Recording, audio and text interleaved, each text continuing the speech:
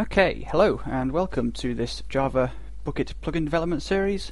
Um, this is going to be a series on uh, a series of tutorials on developing uh, plugins for the popular Minecraft server mod thingy, uh, Bukkit.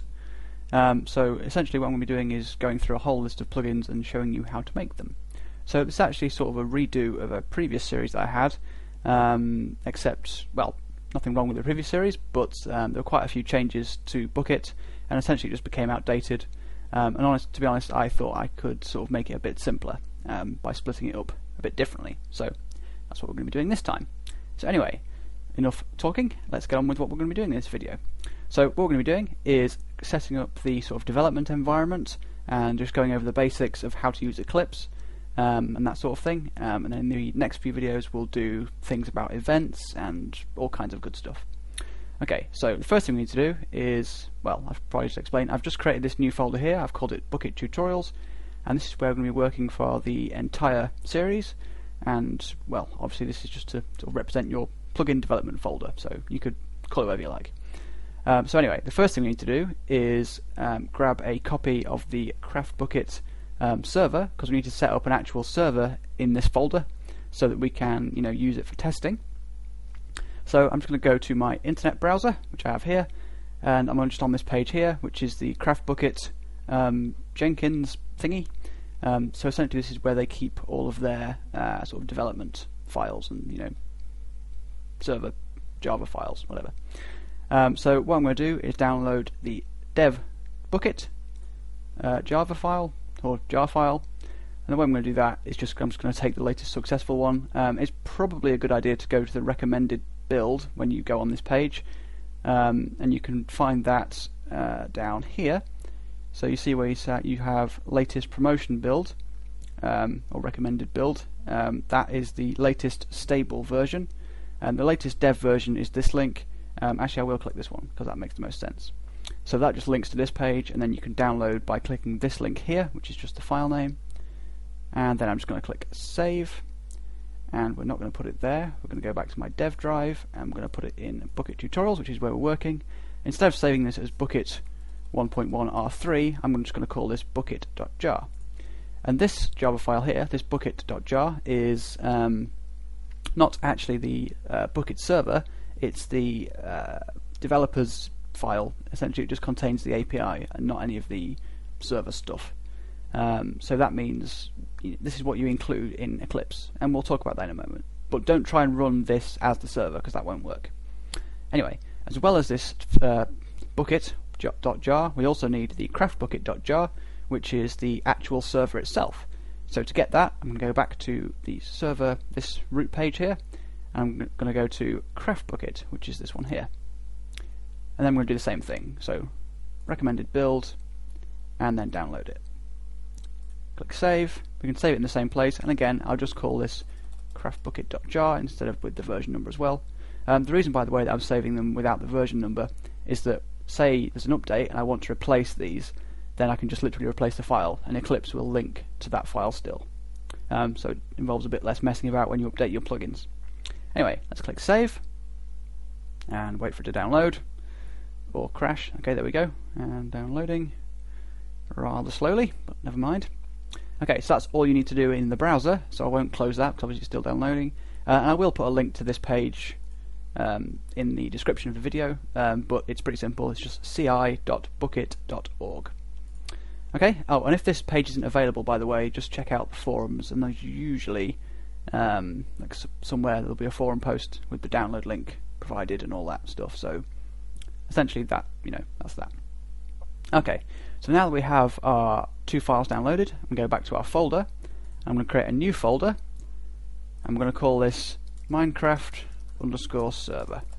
And this is just going to be the folder that's going to contain our actual test server. Um, because obviously you don't want to test this on a production server or on a backup server or anything like that. Um, you can run the server on your local PC. Um, and all you need to do to do that is this craftbukkit.jar. So I'm going to copy this into the server folder like so. Did that actually copy? Nope, no, it's doing it now. Again, really slowly. That's odd. Okay, well, never mind.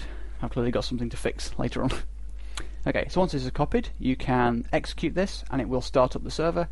However, you don't want to just run it like, like this, you want to run it via the terminal so that you can see any errors that appear. So I'm on Linux, so this might be slightly different for you, but there are probably tutorials around on it. And you know, if you're looking up plugin development tutorials, you probably know how to start a server. But I'll just show you for the sake of it. So what I'm going to do is create a new terminal, and that's this window here. So I'll just quickly resize this to be a little bit bigger. Won't do it perfectly because that'll take forever.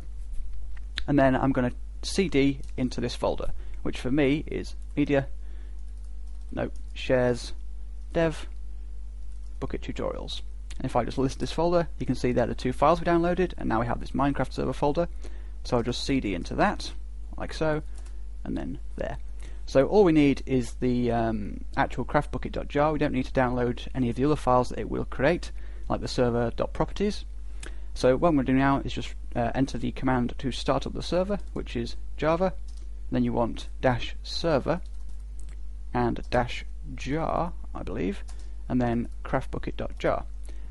Hit enter, and we should see hopefully no errors. Yep, there you go. So now the server, server, the server is starting up, and it's generating all the various worlds, which might take a little while depending on your PC. Uh, if you do it on a laptop, it will take ages. Um, and you can see here that it's just created the files, and actually you can see behind in the window, which I'll just go to while it's doing that, it's created all these files here. So these are the standard files, you know, in the server. So essentially we're going to be using this just as our testing environment. So what I'm going to do in a moment is just go through a few configuration changes um, and just make sure that it has, okay, it's finished. Um, and now it's generated the worlds and all that stuff. We can just turn it off by entering stop and hit enter, and that will stop the server and save all the chunks. So what we'll do now is go back to our folder and we'll just make a few changes to the config files. Let's just make sure it has in fact saved them all.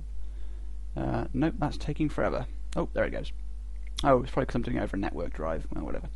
Okay, so let's go back to our folder and we will open up the server uh, properties file, which is this one here, and we'll display it and we'll make it smaller so you can see and just make this ever so slightly bigger and all we're going to do is change online mode, wherever that is, here, to false, like so. Uh, and all that does is make it so that when you log into the server, or when anyone logs into the server, it um, it doesn't validate their uh, you know login credentials with the Minecraft.net uh, servers, um, and that's just, I mean, really, that's not really something you necessarily need to do. But I tend to do most of my plugin development when the Minecraft.net servers go down. So that means I can't play Minecraft to distract myself, and then I do all my plugin work. Um, so yeah, that's generally why I do that. And also, it's a little bit quicker to log in if you've got a bad internet connection.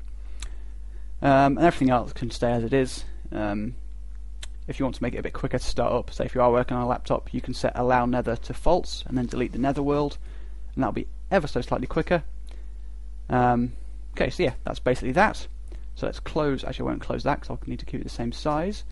So then let's go to our ops.txt. I'm just going to add my Minecraft username to this so that we can do things in the server for testing, you know, ch uh, change the time of day, that sort of thing. And that is pretty much that. Um, it might also be sensible to make it whitelisted, but I'm not going to bother with that because, well, I don't need to. It's only me on this network, so yeah.